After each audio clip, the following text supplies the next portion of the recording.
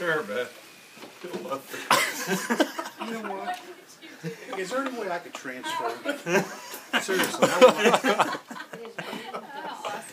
Happy birthday. I'm trying to work here. Happy birthday. I'd like to applaud seriously. I spent, hey, I spent twelve years in aftermarket. All right, see you later. Okay.